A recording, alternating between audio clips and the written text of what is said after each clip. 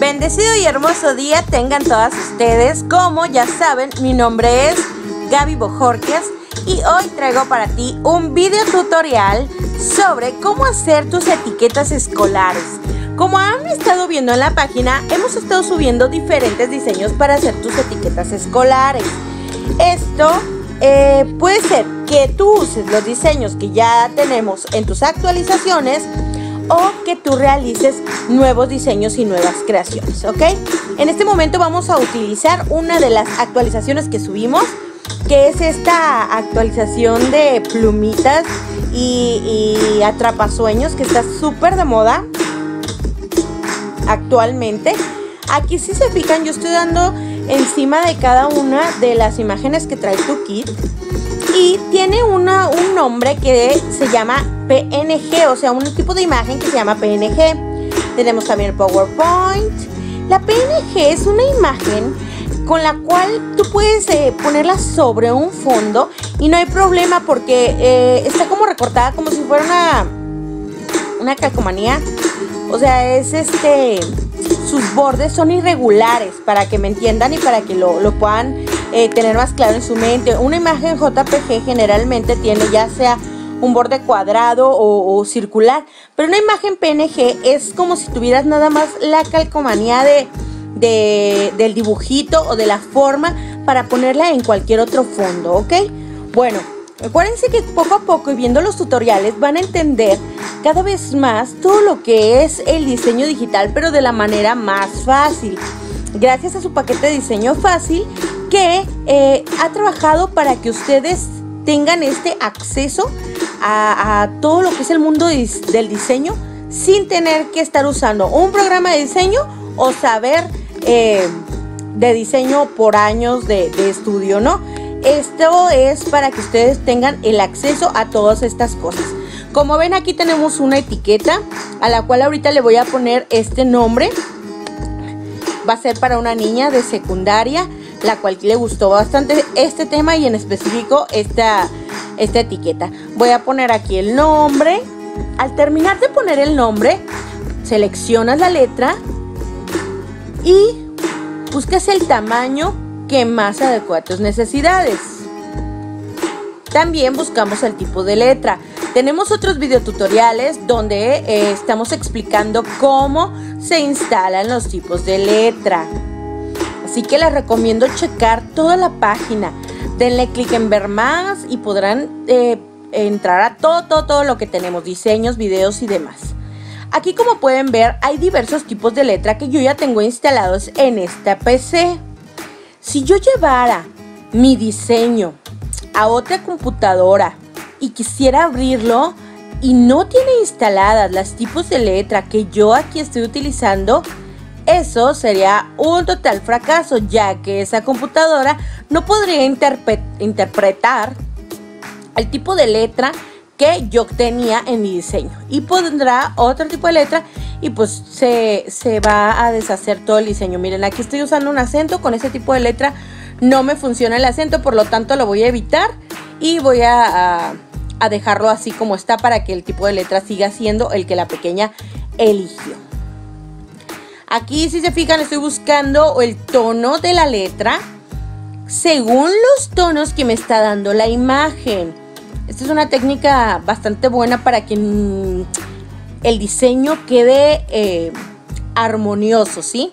O sea, si tú utilizas colores que no están dentro de las imágenes que acompañan tus letras, puede ser que pierda la armonía tu imagen y se vea feo, se vea tosco a la vista, ¿ok? Por lo tanto, la imagen tiene que coincidir con los tonos que se está utilizando, el tipo de letra y la imagen. Bueno. Aquí voy a agregar un cuadro de texto extra que como si nos has estado siguiendo en los demás videotutoriales, vas a poder encontrar que hemos estado utilizando este tipo de cuadros de texto cuando queremos agregar nuevas eh, ediciones o nuevos letreritos a lo que ya tenemos. En este caso yo ya puse el nombre y me falta poner el año eh, en el que va la pequeña, el salón en el que va y su colegio. Aquí solamente yo tenía un cuadro de texto el cual edité, pero puedo agregar todos los que para mí sean necesarios. Simplemente hay que entrar a la pestaña que está aquí y a esta parte que no sé si alcancen a ver, espero que sí. Pónganle HD a su video para que sea súper claro. Aquí que dice cuadro de texto. El chiste en todo lo que es el diseño es no tenerle miedo a la computadora, picarle y si me sale mal, simplemente doy atrás. Control, que es la tecla que está al lado izquierdo en el teclado. Control y la letra Z. Eso como muchos ya saben es borrar o regresar. ¿Ok? Bueno, pues aquí yo ya inserté mi otro cuadro de texto. Y creo que la pequeña va en tercero de secundaria, que es lo que yo voy a poner aquí en tercero A. El grupo es A y el año es tercero.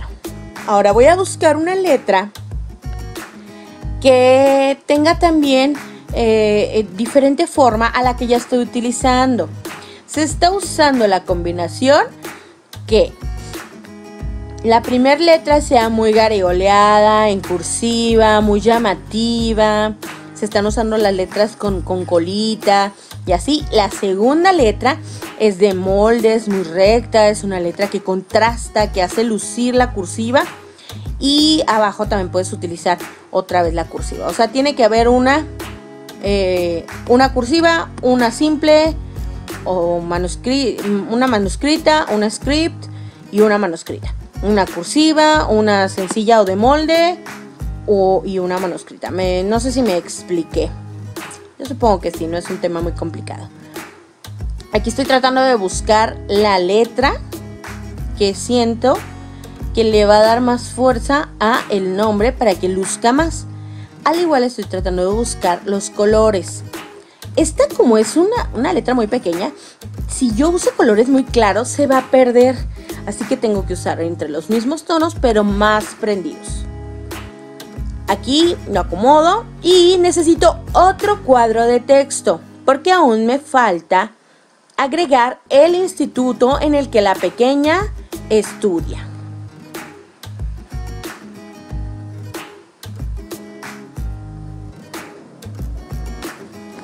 Aquí como ven estamos agregando el nombre del colegio de la pequeña. Bueno, yo no, em, no quiero decirles exactamente cómo tiene que ir una etiqueta ya que para cada persona la etiqueta debe llevar eh, ciertas cosas que para otras tal vez no sean importantes. Por ejemplo, hay pequeñas que posiblemente necesiten que cada una de sus etiquetas tengan la materia a, la cual le van a pegar eh, la etiqueta. Por ejemplo, no sé, matemáticas, ciencias, español. Hay pequeñas o nenes que no necesitan eso, que necesitan el nombre del grupo y el nombre de la maestra, por ejemplo. Por eso es que es importante que tú aprendas a diseñar tus propias etiquetas porque son personalizadas según tus necesidades y según las necesidades también de cada uno de tus pequeños. Tal vez no va a ser lo mismo lo que necesite la, el niño de kinder que la niña de primaria que el chavito de secundaria.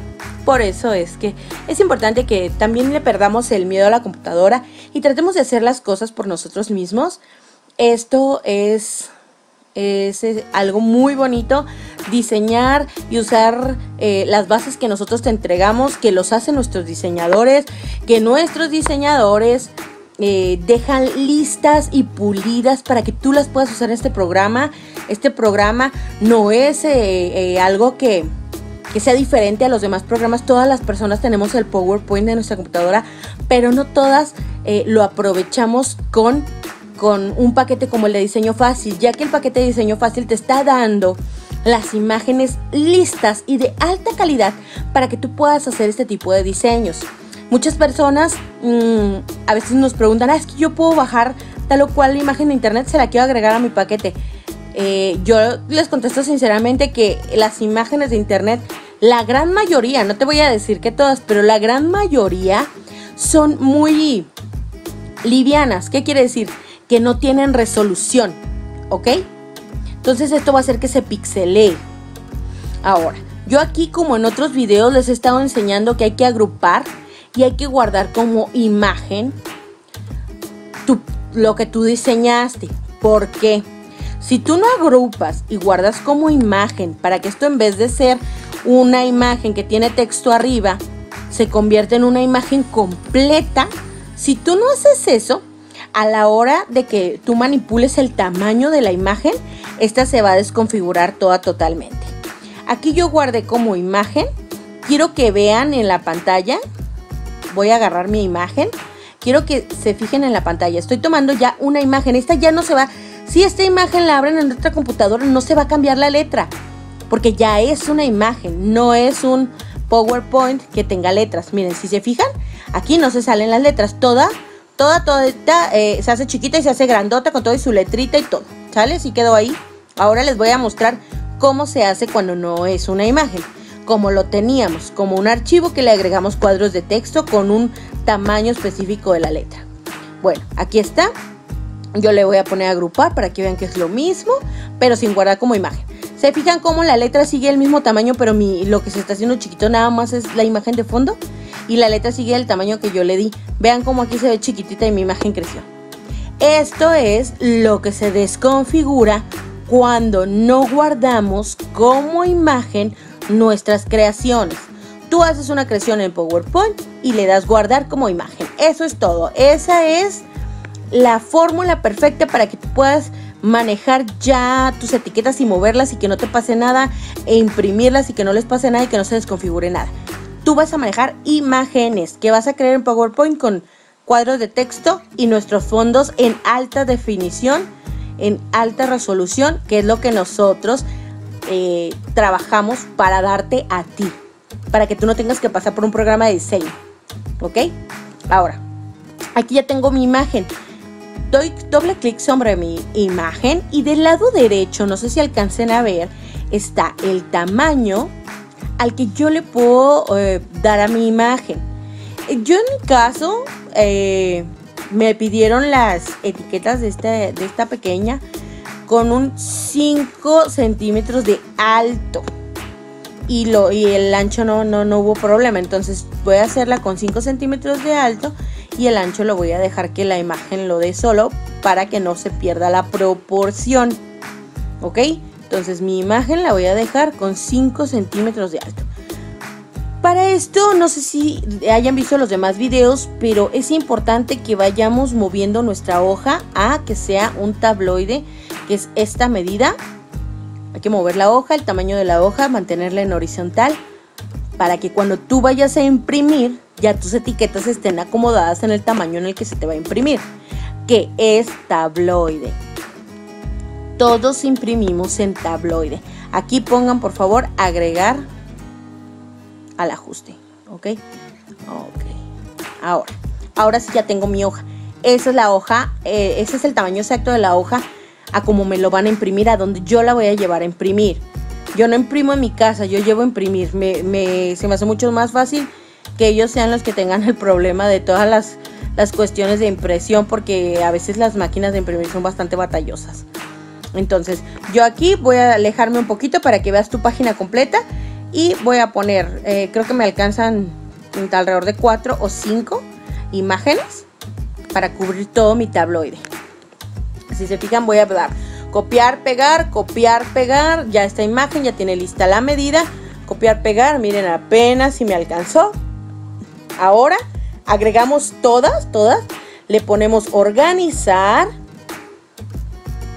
agrupar, para que se haga una sola imagen. Bueno, aquí ya, copiar, pegar, no lo agrupé, estoy copiando y pegando.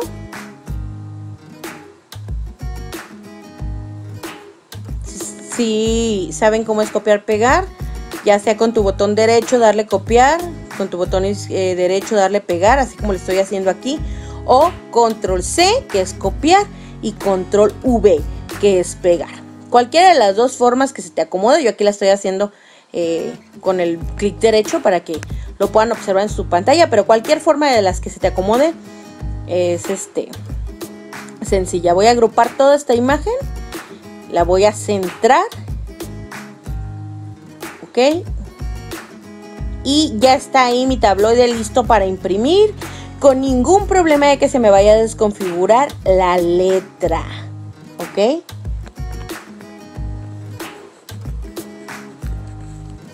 Ahora, no solamente se te puede desconfigurar la letra, también se te puede desconfigurar el acomodo que tienes. Para esto es que vamos también a trabajar eh, como en este video, cómo se guarda nuestros diseños en PDF.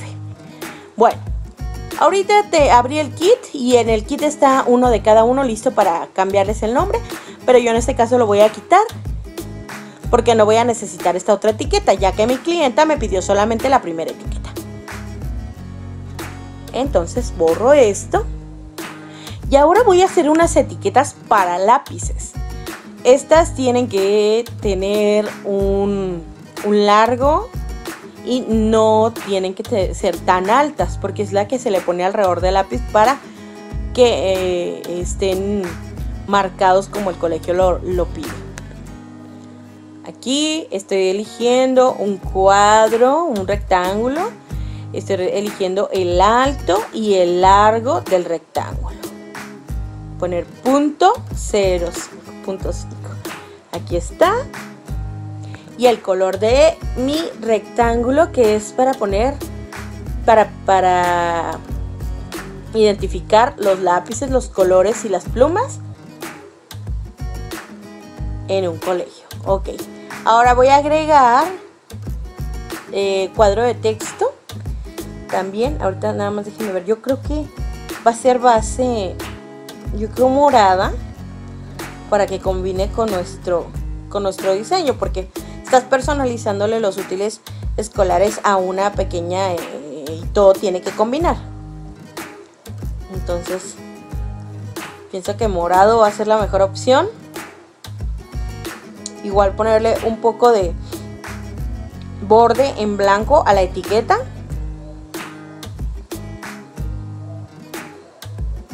Así, así es, ¿ok? Mira, le puedes poner borde o no, como quieras. Yo le iba a poner borde, pero la verdad que se me antoja mejor no ponerle el borde y, eh, y dejarlo así separadito un poco para ya recortarlo con un borde, si es que lo quiero así. Entonces morada va a ser la opción que elegimos. Y ahora, como ya saben, hay que agregar un cuadro de texto para poder poner los datos de la pequeña a la que le vamos a personalizar sus útiles escolares. Voy a acomodar la vista de la página de una manera que se pueda ver claramente, que puedan ver ustedes y que alcance a ver yo. Aquí voy a poner el nombre de la pequeña. No voy a poner el grado escolar y el colegio porque pues sería demasiado texto y no creo que tenga relevancia con que eh, esté el nombre de la pequeña se me hace suficiente. Y ya le vamos a poner también. Yo creo que estas letras las vamos a poner en blanco, ya que el fondo es morado. Si las pongo en cualquier otro color se va a perder o va a brincar demasiado la letra.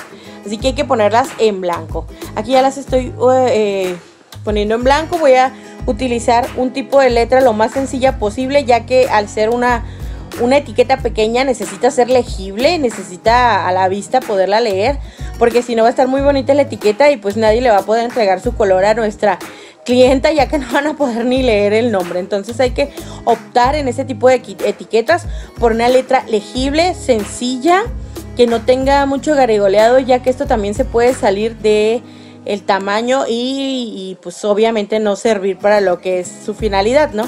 Que es que no se le pierdan sus útiles escolares. Vamos a buscar una letra de molde que sea fácil de leer, que esté pequeña, que eh, quepa dentro del recuadro y que no, no, se deforme tanto al meterla ahí. Esto es una de las partes más complicadas que para mí tiene el diseño, que es buscar la letra. Siempre se me ha parecido bastante eh, tardado estar buscando el tipo de letra, algo que combine realmente con el estilo que le quiero dar a mi etiqueta. Y como ya sabemos, hay muchos tipos de letra y siempre estamos actualizando más y más. Eh, y los vas cargando en la computadora y se va llenando. Entonces también les recomiendo estar borrando las letras que no necesiten. O sea, yo por ejemplo acabo de subir una actualización de letras que, actuales, valga la redundancia, eh, y esas son las que generalmente estoy usando todos los días. O sea, las últimas letras que subí son las que más están en tendencia y las que más están usando en diseño. Así que yo que ustedes daba primero de alta todo lo que está en actualizaciones en cuanto a letras y después ya iba, ya iba eh, eh, instalando las demás letras que incluye nuestro paquete. Bueno, pues les recuerdo de las imágenes PNG. Yo aquí voy a eh, elegir esta flechita que está hermosa, me parece súper linda, para decorar los lapicitos de nuestra clientita. Entonces ya puse su nombre y quiero que esta pieza quede dentro. Si se fijan, como les recordaba hace rato, como les mencionaba, este tipo de imágenes llamadas PNG tienen unas orillas irregulares, no son unas orillas eh, planas o cuadradas o redondas, son irregulares, son alrededor de la forma y la figura. Por eso se llaman PNG. Son unas figuras que a la traducción de, de los que hacemos diseño le llamamos fondo transparente. Ok, lo voy a acomodar de esta manera. Como vieron, moví un poco la letra para que cupiera mi flechita. Creo que le quedó súper linda, era exactamente lo que quería, que quedara un adornito ahí. Entonces ya la voy a poner así. La agrupo para que no se esté moviendo ni distorsionando mi imagen. Porque si no, se selecciona una sola cosa y al moverla eh, ya me queda todo chueco y tengo que volver a acomodar. Así que por eso acostúmbrense a agrupar todo el, conjunto de, de ediciones que hicieron. Agrupo, copio y pego. ¿Ok? Aquí también voy a agrupar estas dos porque quiero copiar y pegar de dos en dos y luego de cuatro en cuatro. Estas ya son mañitas que se te van a ir pegando con el tiempo y con irlo utilizando hay que practicar, traten de estar practicando porque la verdad es muy sencillo. Eh, lo único que, puede de repente complicársete es que es nuevo. Para muchas personas eh, que han comprado el paquete, este tipo de, de cuestiones es pues relativamente nuevo a lo que están acostumbradas a hacer o a ver, pero el ser nuevo no quiere decir que sea difícil. Cuando tú te acostumbres, cuando tú practiques y lo hagas de manera constante, esto se va a volver más fácil de lo que tú crees. Y con nuestros videotutoriales lo que pretendo es ayudar a todas a que siguiendo un video puedan entender más sobre su paquete y sobre el programa de PowerPoint y cómo vamos a editar.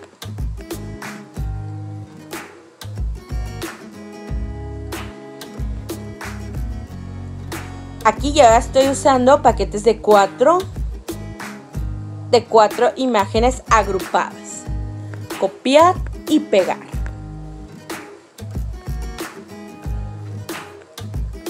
Recuerden que ya modifiqué el tamaño de mi hoja.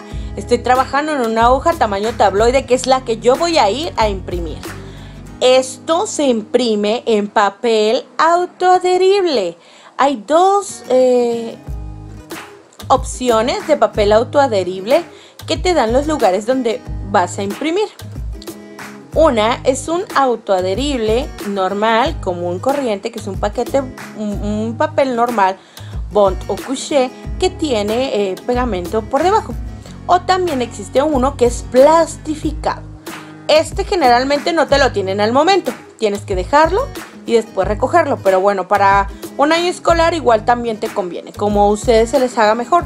O ya que si van a forrar sus libros y encima le van a poner plástico, pues entonces no mm, sería una pérdida de tiempo meterle algo eh, plastificado, ya que de todas maneras va a llevar plástico. Aquí doy copiar y pegar para hacer una segunda línea y como ven ya tenemos muchísimas etiquetas para lápices y colores y objetos que vaya a personalizar mi querida clienta. También voy a agregar de esta parte mi flechita esta que me encanta, que está súper linda, la voy a agregar del lado derecho de la página. Aquí va a estar agregada, ya que no quiero desperdiciar este espacio porque de todas maneras me van a cobrar lo mismo, pero así aprovecho y tengo dos adornitos que se puedan poner eh, en cualquiera de los útiles escolares de, de mi clienta. Aquí también voy a borrar esta etiqueta que ya estaba lista Y ahora voy a hacer otro tipo de etiquetas que tengan que ver con el tema, que más o menos lleven los mismos colores. Aquí yo creo que, eh, no, este abajito va a estar mejor. Que más o menos lleven los mismos colores para que tenga todo una temática y mi cliente esté contenta y feliz con nuestros diseños. Aquí mm, voy a hacerle otro tipo de etiquetas que estas van a ser diferentes, van a ser eh, sin tanto especificación del nombre y la escuela y el grado. Estas nada más van a tener su nombre. Esto lo hago en base al pedido que ella me hizo. Como les digo, cada quien puede personalizar sobre lo que necesite lo que va a diseñar. Aquí mi cliente me pidió que solamente tuviera su nombre en otras de las etiquetas de las que yo le diseñara. Por lo tanto, voy a agregar el nombre y voy a escogerle un tipo de letra que se vea muy lindo y tenga que ver con las que está utilizando para sus diseños. Si se fijan este fondo de acuarela, ay, cómo se está utilizando de verdad. ¿Han visto los últimos diseños? ¿Cómo se está utilizando el fondo de acuarela? Está bien padre. Eh, a mí me encanta. Es algo que, se ve fuera de lo común. Ahora ah, han salido bastantes diseños con este tipo de, determinados y me parece bastante lindo. Ahora voy a agrupar y voy a recortar mi imagen ya que tengo un espacio en blanco que me está quitando espacio. Nada más voy a recortar mi imagen, queda recortada y le quiero poner un fondo eh, para enmarcar mi imagen. ¿Ok? Esto hace que también eh, tome como más personalidad la imagen. Hay personas a las que les gusta y hay personas a las que no. En este caso, si le gusta a mi clienta y es lo como se lo voy a hacer, pero pues ustedes tienen la opción de hacerlo o no hacerlo como siempre. También quería platicarles, chicas, que me he encontrado con pocas, pero sí hay algunas personas que están queriendo revender nuestro paquete. Yo nada más les recuerdo que nosotros no solo somos un paquete, nosotros somos diseñadores, somos personas que te apoyamos cuando tú eh, necesitas asesoría de dentro de lo que es descargar eh, dudas, eh, papeles, recomendaciones. Me, me llegan mensajes de mis clientas donde me dicen, oye, este tema se está usando, este tema, algo en la actualización o algo. Y eh, obviamente no, no voy a hacer lo que todas me digan porque entonces no terminaríamos pero sí se va anotando a una lista de sugerencias y ya cuando llegan a, una cantidad buena de, sugerencias se hace ese tema. ¿Esto a qué nos ayuda? A que siempre estemos en tendencia. Entonces todas esas otras cuestiones no son revendibles, chicas. Mm, a veces se acercan conmigo a algunas personas que me dicen, oye, es que no puedes cargar mi paquete o, o mi enlace caducó. Entonces yo les digo, a ver, ¿dónde lo compraste? Y al final, cuando, cuando nos damos cuenta de dónde lo compró, resultó ser que se lo revendieron y le revendieron algo que ni siquiera puede utilizar, que ni siquiera puede bajar y que ni siquiera nosotros lo podemos ayudar. Entonces, no se arriesguen a que les den gato por liebre por según ustedes ahorrarse unos pesos. En realidad, eh, no se están ahorrando nada, ya que con nosotros, eh, directamente con nosotros, están aprovechando no solamente el paquete, sino nuestras actualizaciones, nuestros videotutoriales, nuestro apoyo técnico, nuestra asesoría constante y demás cosas que, que sí ofrecemos. tenemos ya algunos años en el mercado, tenemos una página fuerte y creo que eso también debe de tener algún valor. Así que si te quieres arriesgar, pues adelante, pero pues yo te recomendaría que no. Así que ya, cada una decidirá. Bueno, aquí vamos a regresar al tema, a nuestros lindos tutoriales, que, ya me salí mucho del tema. Eh, como ven, estoy haciendo mi fondito, el que les decía, el marco en el cual ustedes eh, pueden darle como más personalidad o más viveza a su diseño. A mí este sí me gusta mucho. Miren, un tono que le combina es un verde como, como obscurón pero no me llenó. Así que voy a usar este azul turquesa que siento que lo levanta bastante al diseño. Ya saben, agrupar. Listo. Así. ¿Y qué tengo que hacer después de agrupar? Guardar como imagen. ¿Por qué? Porque me pasaría esto si no lo hago. Tengo que guardar como imagen mi diseño para que a la hora de poder manipularlo en tamaño o en lugar no se desconfigure. Todo esto yo trato de tener mi escritorio limpio y dentro de mi escritorio ir guardando las imágenes que estoy eh, eh, sacando de los diseños que estamos haciendo en PowerPoint. Y así no se me van a perder por todas las carpetas. Así que le pongo el nombre que yo quiera de la etiqueta, lo guardo, borro esta que tenemos aquí, que, esa no es una imagen, sino una, una creación, un diseño en PowerPoint y abro ya lo que hice como imagen. O sea, cuando tú lo pasas a imagen, todo su formato cambia. Aquí está.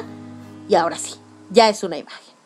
Ya no se va a desconfigurar la letra, ya no se va a desacomodar todo, ya lo puedo acomodar para irlo a imprimir. Ya es una imagen. Eh, ¿Por qué les repito tanto todo esto, chicas? Pues porque quiero que se lo aprendan.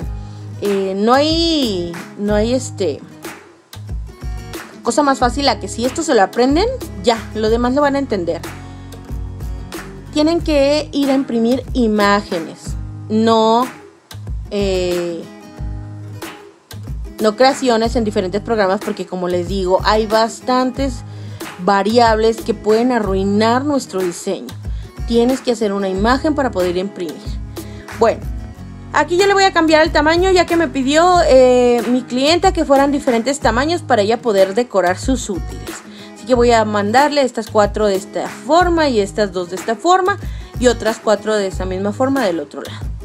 Y este es el paquete que yo le voy a entregar a mi clienta. Está bien a la moda, está bien bonito, están sus etiquetas, están para sus lápices y están para decorar diferentes otras eh, útiles escolares que ella necesite. Ahora ya lo quiero pasar a un formato donde yo la voy a poder imprimir que en este caso voy a utilizar PDF. Así que mientras tengo que borrar todas las diapositivas que tenía anteriormente aquí en este programa cuando lo abrí. O sea, todas estas que no las voy a utilizar, las borro, las borro, las borro, las borro, ya que me quede solamente lo que sí voy a utilizar. Mi clienta le gustó el primero, así que todos estos no los voy a utilizar. Bien, este es el paquete que yo voy a entregarle. ¿Ok? Bien, ahora hay que darle archivo, guardar como en este PC o en documentos. Le pongo el nombre de mi clienta. No lo guarden con el mismo nombre porque entonces uno va a reemplazar al otro y entonces ahí sí. PDF. Es lo que vamos a poner. PDF. En todas esas opciones busquen que diga PDF. ¿Sale? Y le dan guardar. Listo. Acá me está pidiendo que lo configure, pero esto, esto no les va a salir a ustedes. Ya después vamos a abrir el Acrobat Reader